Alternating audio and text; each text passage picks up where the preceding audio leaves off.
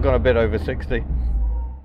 In this video, I'm going to tell you why the Suzuki Cappuccino is the best sports car of all time. Now I know that's an exceedingly bold claim to make about a car, but um, I will deliver my reasons throughout the recording of this video. Uh, Suzuki Cappuccino was launched in 1991. Uh, it is a K car, it is built to the K car regs, which means it's 3.2 meters long, I think 1.8 meters wide, and uh, the engine can be no more than 660 cc, or about the equivalent of two cans of fizzy drink. Uh, the engine in this one is actually 657 cc, it is three cylinders, uh, it has a turbocharger and an intercooler to produce the maximum allowed power output for a K car of 63 brake horsepower at um, some quite bonkers RPM number. Uh, they are small, they are revy, they are hilarious. It looks a bit like a miniature MX-5 and it is a proper miniature sports car. It has independent suspension all round, it has uh, rack and pinion steering. It is very much a miniature sports car. I mean, they also happen to be absolutely adorable. Just a cute little face. Um, projector headlamps on this one, which dates from 1992, and uh, lovely alloy wheels as well, and thankfully some good tyres. Now, the colour on this one is non-original. It has been resprayed yellow. It was actually a, a Kiwi car. It was sold new in New Zealand, um, and then um, came over here with the owner um, a couple of years later when he moved to Queensland and has now made its way down to Sydney. Uh, got a little reverse light separate here in the bumper. Uh, UK models had a fog light instead. Uh, the UK did actually get these as an official Suzuki car. You could go to your Suzuki dealer, you could buy a cappuccino, and uh, uh, over a thousand people did, and many more wanted one, but they struggled to meet um, changing uh, emissions regulations in 1995. So they were only sold in the UK for two years, 93 and 94, and uh, only in red or silver. In Japan you had different colours available, although not this shade of bright yellow. And uh, um, there was even a second generation which had a chain driven camshaft on its crazy little triple engine, which I think we should have a look at really. I think it's probably about time. Uh, so have a quick preview of the interior because we need to come over here we need to open the glove box which is tiny and the release is somewhere in here. There we go. All the good times. Those seats are going to be horrible to sit on. It's over 30 degrees at the moment. And I'm going to have to go and buy some sun cream because otherwise I will die. Now look how hilarious this is. This tiny little twin cam 12 valve three cylinder engine. It is absolutely diddy. It's it's that long. It's uh, hilarious. So we've got fuel injection. We've got a turbocharger hidden um, down there somewhere, I guess. Uh, we've got an intercooler here in front of the um, radiator. And look how far back the engine sits. So you've just got dead space here. Uh, Suzuki boasted that the Cappuccino had a 50-50 weight distribution when it had two people aboard. Um, two people making quite a difference to the overall weight of the car, I imagine. And uh, yeah, just hilarious. The level of engineering that went into these cars is quite remarkable. And that's something we see throughout K cars as the AutoZam AZ1 which had gull wing doors and was a proper little K car supercar. There is the Mitsubishi Pajero um, oh what's the smallest one called the mini that's right uh, which has a full four-wheel drive system and um, dual range gearbox uh, I notice this one seems to have a heater delete. I think the owner just doesn't drive it um, on rainy days. Uh, but you see you've got coil here distributor here all the intake plenum here. Oh these are hilarious motor vehicles. Let's have a look inside. Just before we look um, inside the car. Uh, there is room here in the boot for the roof panels for it is a Targa top convertible uh, which I shall demonstrate, well I won't demonstrate the panels because we haven't got them here but there is a boot, it's a useful size until you fill it with roof panels um, so it is somewhat more practical than both the Honda Beat and the AutoZam AZ1 which is why I give it more stars. uh, in that regard. Uh, the, this rear section does come up. Um, I've never done that before. I didn't ask the owner how it does it. So we shall, um, I'll put the ignition on because I imagine that's probably necessary. And uh, oh, there we go. And now I can pull that up. I thought that was electronic, but it isn't. So now we've got a T-bar uh, or we will have a T-bar because there's a bar that goes down the middle and then two separate panels and uh, I suspect driving along that's just going to end up like a massive buffer but you'll notice it's got a heated rear window this is practical motoring uh, so um, presumably I'll do that fold it down again there we go that's a lovely bit of kit um, right uh, jump aboard because I'm distracting myself jump aboard the hot leather seat that I should have put a towel on. Oh, that's hot! Uh, cool it down with my own body. It is dinky in here, but look at that rev counter. Uh, the red line starts at eight and a half grand. Uh, the owner's happier with seven, so we're going to stick to that. Um, but uh, yeah, everything is there. It's just that everything is tiny. Uh, the speedometer doesn't work, so we've got um, a GPS the backup. But look at this tiny little gear lever, uh, that, that's just hilarious. Standard Japanese heater control layout as you'd expect. Um, this one's got a more modern head unit, 12 volt power outlet. Oh, didn't mean to lose that. So the cigarette lighter has gone missing. Uh, it looks like it would have actually been a cigarette lighter at some point. Uh, so we'll put that back in there. The tiniest little ashtray you can imagine. Electric window switches here, a little cubby box down here which you can't fit very much in and uh, the controls there for the uh, rear panel and uh, that looks like central locking is it oh no it's interior light uh, which I think is attached to that bar so we can't see it at the moment little shelf here for stowage and a couple of really supportive nice bucket seats um, but uh, really we're here to listen to this little engine purrs neatly into life.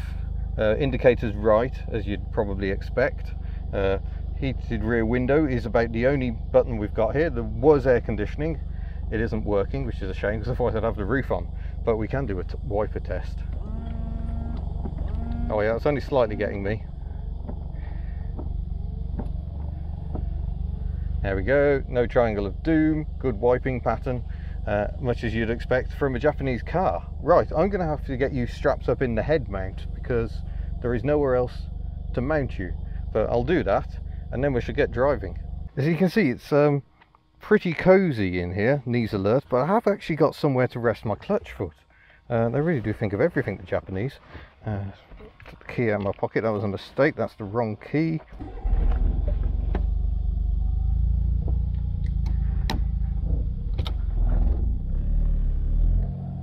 view map so we get speedo and away we go and already this is just a hilarious motor vehicle no power steering you could get it on the later ones I don't think you really need it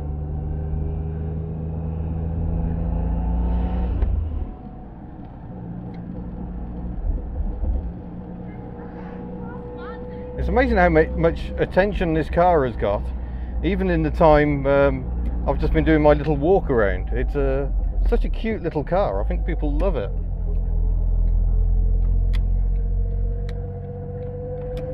You can hear quite a noisy transmission. And quite a sweet little noise as well. But um, bear with me, we'll get this engine warmed up and we can enjoy more of a drive. But why do I say this is the best sports car in the world? Uh, the answer is pretty simple. Uh, channel motto, one of the many, is um, power, less is more. And um, I don't think that has ever been more true than in the world of on-road cars. There are certainly sports cars with a lot more power. Remember, 63 brake horsepower.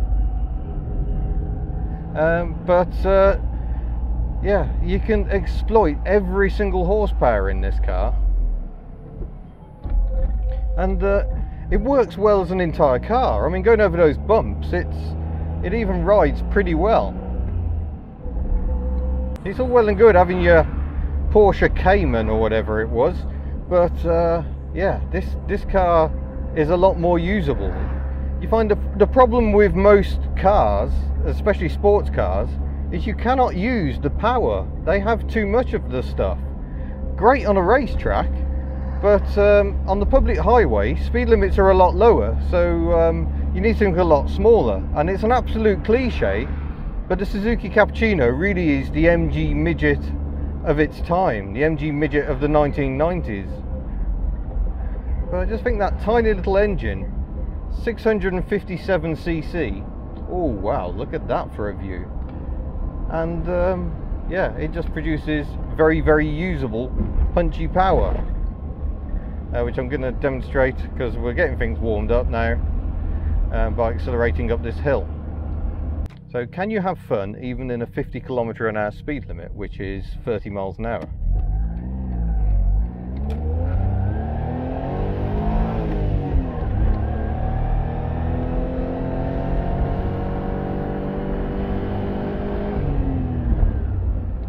Oh yeah, I think so.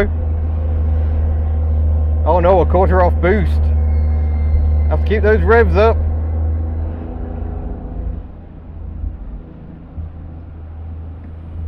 And this is my point. Here I am in a 50 limit, um, having a great time. The steering is so responsive and so direct, and uh, not even slightly heavy now we're up to speed because there is so little weight in the car. And yeah, the ride is really supple for a sports car. Got no um, scuttle shake going on. It feels really solid and robust. Got a little light, that was a cockatoo, that comes on when the turbo starts boosting.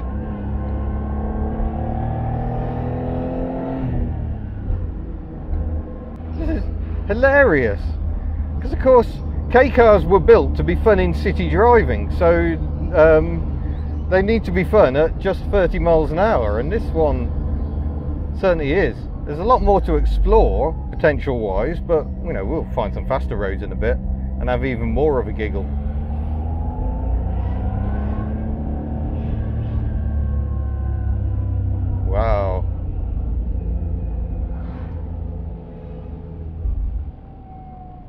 Appears to be the end of this road, so we shall do a turning circle demonstration.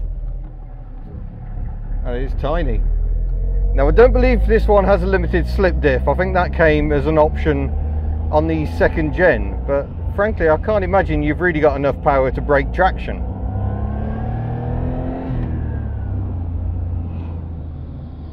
It's a surprisingly refined noise I think. And uh, these engines can be tuned up.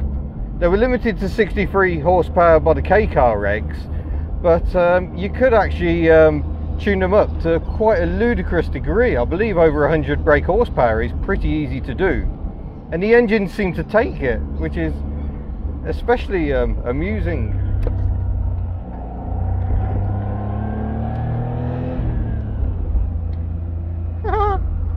oh, this is absolute hilarity. I mean, how much fun would a McLaren or a Porsche 911 be in a 50 mile an hour speed limit? It'd be tedious. Look at this. Woohoo! Oh man, I feel alive at 30 miles an hour. That is why this car has my claim for the best sports car in the world. But it isn't just designed for the city streets, so we'll go and find some roads that are a bit more potent.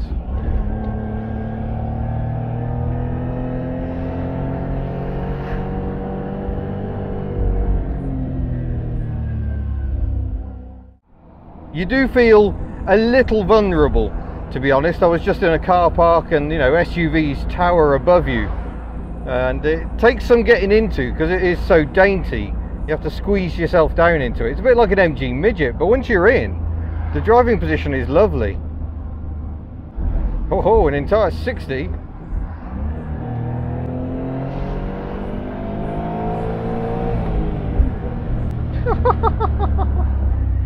Gone a bit over 60. Oh, nice Holden.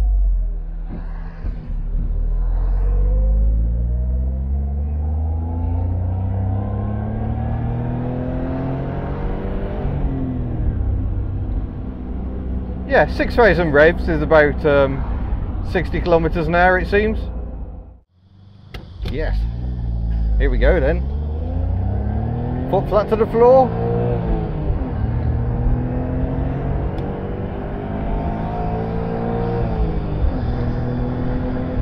And that's us at 80. Woo! Oh, this is hilarious.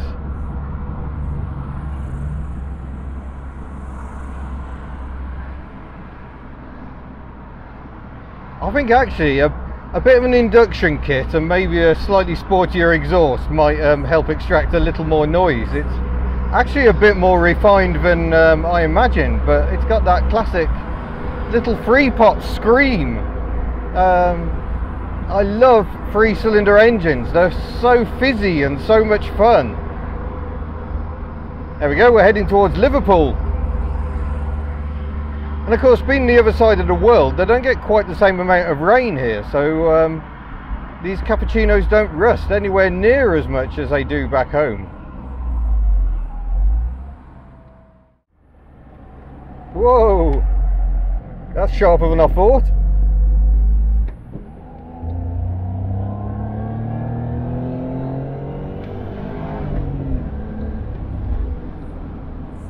Oh, this car is hilarious. I so wish I bought one of these when they were fairly cheap. You could buy them for like two, three thousand pounds. I even test drove one at some point, but I just couldn't quite commit to it. Uh, back in the days when I actually had a reasonable amount of money. Oh no, traffic lights have made us stop. We'll have to accelerate again.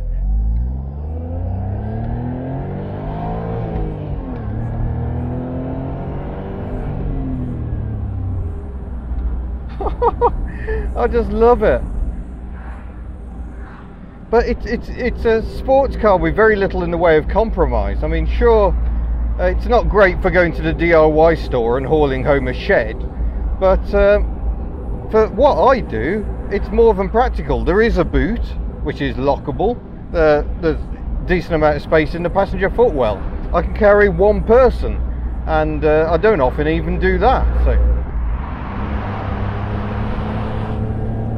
Wasn't really long enough, was it? Oh, I love this car to bits. But it's precisely because you can extract every one of those horsepowers that makes this car hilarious. You can absolutely hammer it and all you're doing is keeping up with the traffic. Uh, it's just brilliant. Now I will say, these cars are actually fairly complex. Lots of suspension bushes and stuff and I have driven below par examples where they're all a bit worn out and clunky. This feels tight as a drum. It's done 143,000 kilometers, but has um, had a fair bit of restoration work done and uh, feels all the better for it. It feels brand new. Right, are you ready to do a quick UE? And we'll head back the other way.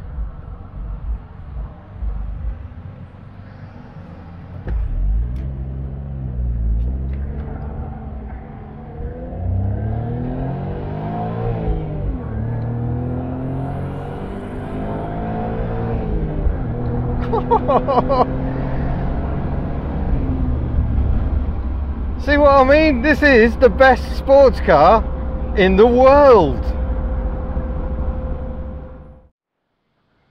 Well, that was a huge amount of fun. The Suzuki Cappuccino is the tiny car with a huge heart.